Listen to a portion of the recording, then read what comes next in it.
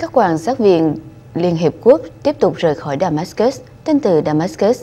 Một toán các quan sát viên của Liên Hiệp Quốc đã rời một khách sạn ở Damascus trong sáng ngày hôm nay. Một số đi tới phi trường quốc tế Damascus, còn một số đi xe qua thủ đô Beirut của Lebanon. Sau 4 tháng làm việc, phái bộ quan sát viên Liên Hiệp Quốc tại Syria đã thất bại, không mang lại đình chiến, mà bạo động ngày càng gia tăng ác liệt hơn. Các quan sát viên không võ trang đã ngưng hoạt động từ tháng 6. Nhiệm vụ của phái bộ quan sát viên Liên Hiệp Quốc đã mãn hạn trong đêm Chủ nhật.